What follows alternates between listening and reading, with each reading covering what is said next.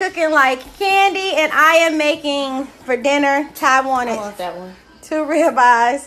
Well, she's gonna have one ribeye. I'm gonna have a ribeye. I'm not a steak person, so I have the thin sliced ones because I'd rather have it like that. Anyway, with twice baked potatoes and the ingredients for the twice baked potatoes. Um, first, we're gonna bake a potato, and all we need is these big potatoes, and they're pretty big. Um, we're gonna put a little olive oil on them and season them up with salt and pepper and put them in the oven for an hour. Then I'm gonna go take my daily um, run. But then I also am going to have these ribeyes marinating. Take them out the refrigerator. You don't ever really want to cook them when they're really cold because it dries them out. So you want to let them sit, get room temperature. I'm going to season those up as well. And then my ingredients, onion, garlic, butter, seasonings. My ingredients for the twice baked potatoes, once they're baked, I'll need broccoli. I'll prefer the broccoli florets and frozen, yes, because it's quicker. Um, some sharp cheddar and a little sour cream. So we're going to start off with the seasoning of the potatoes so I can put them in the oven so I can go run while they're in the oven and then our steaks. For my steak, I have onion and garlic and butter that is real critical to uh, cooking it, but the season is more critical. And then I have um, some fresh herbs. This is a poultry blend. Rosemary, sage, and thyme. This tastes amazing when you cook it alongside the steak. All right, so here comes the seasoning. So for starters, I am going to drizzle some olive oil on both my potatoes and my steak. And you gotta massage it in. The whole beauty in cooking, you have to love your food. Follow all the instructions you want, but if you don't love your food, it's not gonna taste good. You have to put a lot of love into cooking, okay? So I'm gonna make sure this oil is all the way evenly sitting on here and let it rest. What's their names? You name them. There's Danquisha Oh, Lord. and Judy. And the potatoes, just potatoes. Okay, so I'll get this oil off my hand. And we're going to start with the seasoning. So, sea salt is the best salt. Go ahead and sprinkle some sea salt around this cousin. Some sea salt around this cousin. I'm going to wrap these in some added oil. I have it salted. I'm just about to poke some holes in it. And the holes is for the steam because while we have it cooking, we want to make sure the steam gets all the way through it and escapes it. Nothing major. You can use a fork. You can use a knife.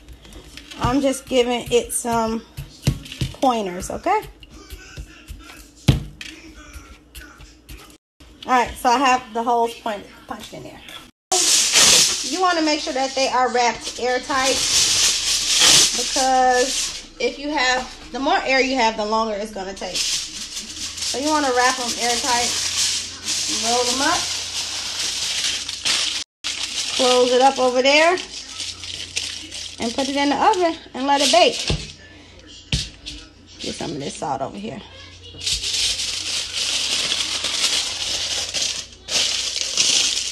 So I have these, I'm gonna put them in the oven at 385 for an hour and that's gonna bake. I'm waiting on those to go in. I'm going to go ahead and season up with steak. All you need is salt and pepper. That's it. Um, I have a Chicago steak seasoning. Yes, I am infatuated with Chicago. We've all seen the memes. Chicago, people think Chicago or I want somebody to love me like people from Chicago love Chicago. Yep, I love Chicago, but I don't live there. So I'm going to season this up with this steak seasoning. This is pretty much um, salt and cracked pepper. I'll tell y'all what it is. Oh, they don't disclose all the ingredients. Sea salt, garlic, spices, onion, red bell, red bell pepper, and red pepper. Okay, I thought I was slow reading the same thing twice. So you're gonna basically do this to both sides, okay? I'm also gonna sprinkle a little. I'm gonna massage them in just a little. Like I told you, you gotta love on your food. Cook it with love. And it's going to be good. If you don't have that love, it ain't going to be all that. All right, same thing on this side. And then um, I'm going to let it rest. I'm going to let those cook and I'll be back to fry. So my potatoes, I smell them. So I'm about to take them out. But before I take them out the oven, I'm about to boil about a cup of broccoli. I don't need a lot. Um, just for Ty and I, and we're only working with two potatoes. So I pulled my potatoes out from the oven. And I will let them cool off because they still piping hot. Let them cool out of the foil though because the foil is going to keep them super hot and I'm gonna unwrap them.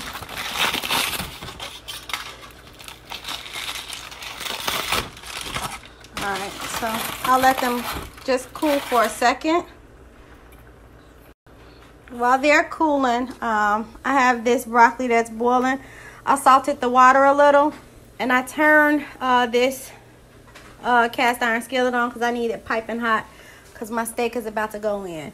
So got your skillet hot. I'm about to slice through my um, onion because I need my onion. But first thing first, uh, once this is piping hot, I'm going to test it with a little water.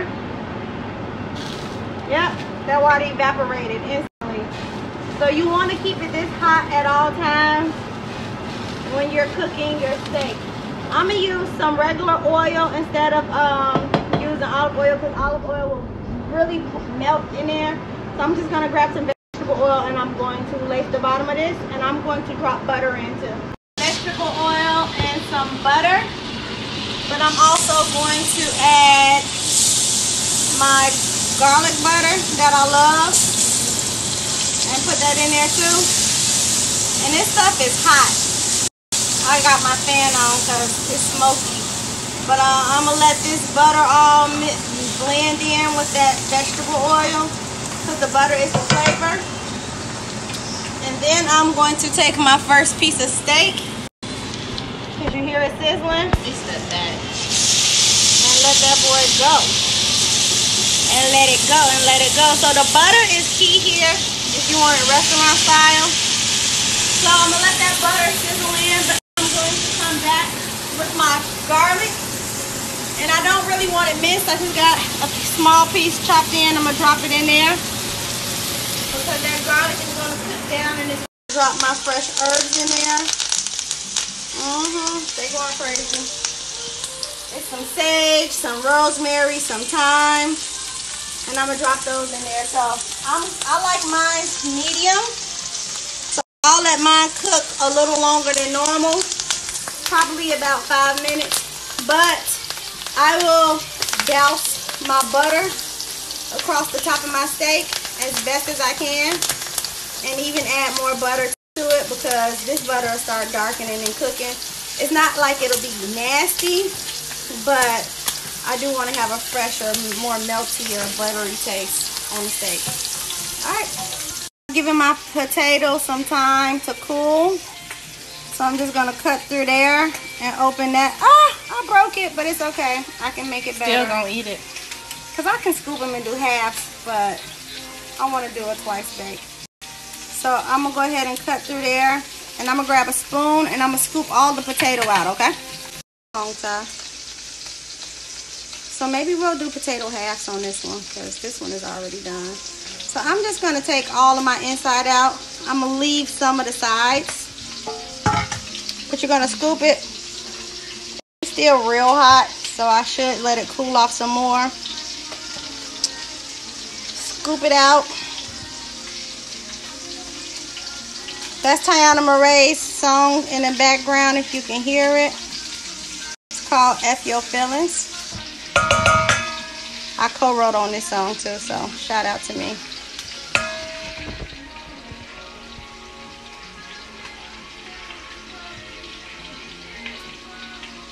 You want to be real gentle with your skin because we need the skin to cuff it back in. All right, so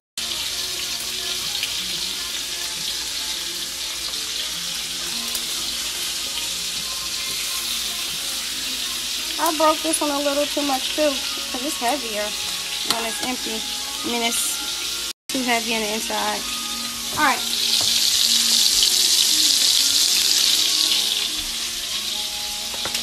They are at a nice brown the way I like them. So I'm going to flip them.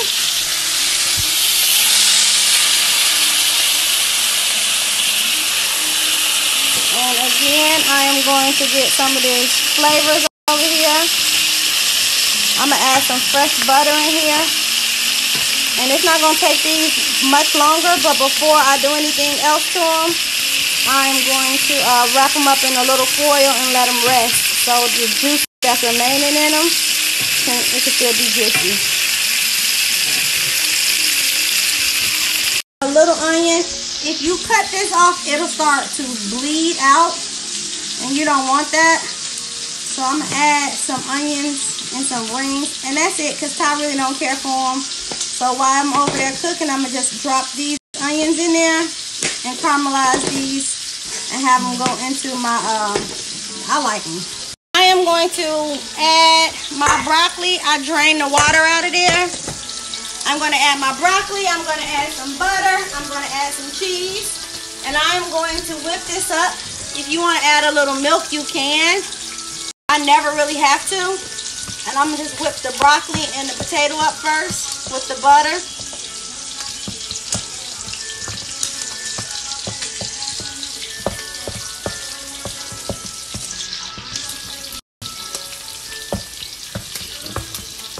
Sprinkle some salt and some pepper on here.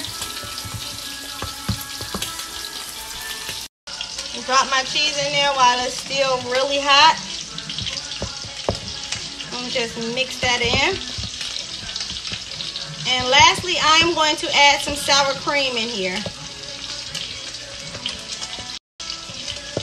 Before I restuff the potatoes.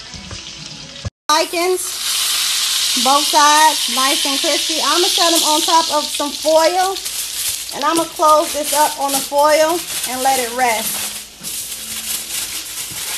Alright, I'm going to set that to the side. I'm going to take this one out. Sorry, Ty. Alright, and I'm going to go ahead and set this one on some foil. And I'm going to close that one up and I'm going to let that rest while I get rest of my food together. Mm, it's some meat right there. Uh-uh, I'm gonna eat it. Okay. Take my um onions out in a second. Some sour cream to this mixture. Not a whole lot, and honestly, I'm just using what all I got left in that pack. And then I'm gonna whip this all up and get it nice and blended. And um, my potatoes cooked longer so they broke apart. But that's fine because I'm doing them in halves. So I just stuffed the half shells that I had left with my mixture. I'm going to top it off with cheese. And then I'm going to bake this again. Hence, twice baked potatoes. I'm going to bake it again in the oven until my cheese pretty much melts down. Because all of the ingredients in the inside are done. But uh, pretty much for the cheese to melt down, that's going to take me all of about maybe 10 minutes and in that time my meat will have been rested enough and we will plate. And Ty is drenching hers in more butter. Yes, sir. And unfortunately, we're not using paper plates today. Cool, I'm washing dishes. Of course. Of course. I'm saying I like you always wash dishes. I do. All right, guys. Be still so I can get a nice picture. Bon appetit.